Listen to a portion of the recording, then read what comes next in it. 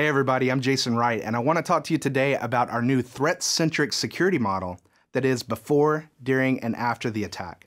And to be very clear, this is not a product, but this is a model and a way to frame discussions with your customers that really illustrates the value and the beauty of what the Cisco security portfolio is able to offer as a complete solution.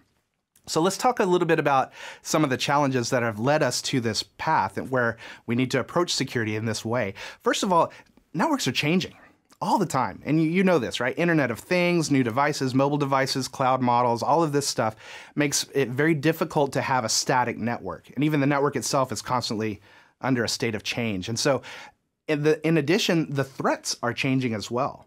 Okay, it's not just script kiddies and, and little hackers. These people are well organized, they're educated, and they're making a business out of stealing this information off of networks. And so they're financially motivated. And so they're always evolving the way they attack networks.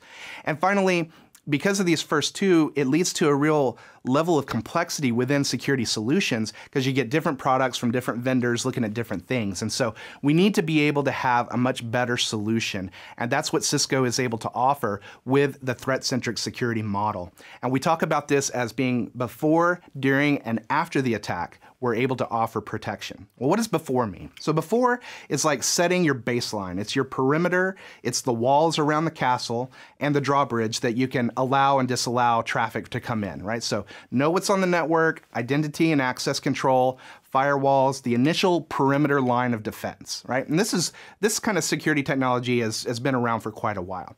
But we are in the business of networking, right? We are communicating out there. So what is going through still needs to be inspected at a deeper level. And that's where the during phase technologies come in. And they're inspecting at a single point in time. And they're looking at traffic as it comes across the wire and saying, is it good or is it bad?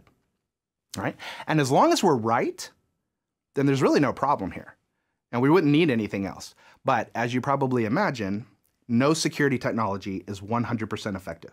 Even Cisco, will miss things from time to time. And even if it's not a miss, files change. They, they look benign at first and then they start acting bad later. So we have to have a reason and a way to address threats that do get through these first two models. And that's where the after phase comes in.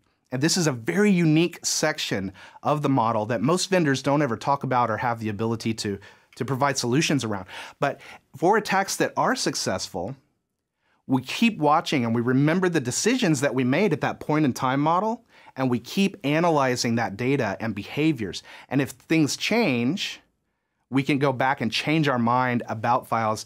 We can pull them out of memory and put them into quarantine and start to stop the threat. We can change the access policies of the users themselves if they're hacked and owned.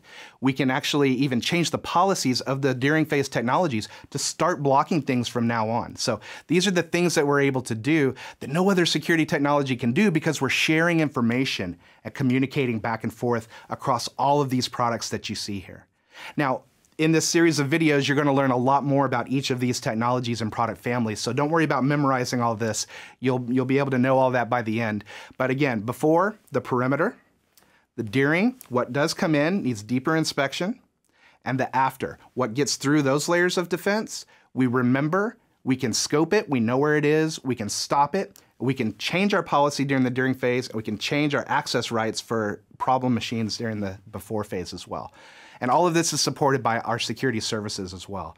So a complete solution that is looking at things from a much broader perspective is what we're able to offer.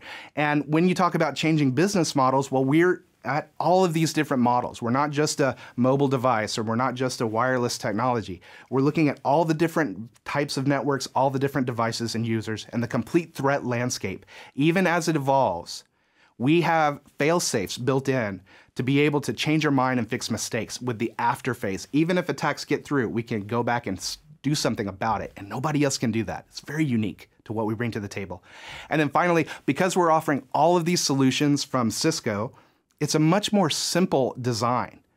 It's, it reduces the complexity and the fragmentation that attackers will use to get through. And we'll talk more about that in a separate video. So ask your customers, how, do, how many vendors do you have in your security architecture? And you'll hear very high numbers, and we'll talk about that. Um, oh, how many of these technologies are communicating back and forth and sharing information? The answer is going to be very few, if any, because they're different vendors. And then finally, what do your security technologies do when they make a mistake and miss an attack? You'll probably get a few blank stares because most technologies don't do anything, but we do something about it. And that's the beauty of our entire solution and the perspective that we bring as Cisco Security Technologies. So enjoy the rest of the videos, and if you want to learn more about the before, during, and after model and how to have this conversation, go to cisco.com slash go slash security. Thanks for tuning in.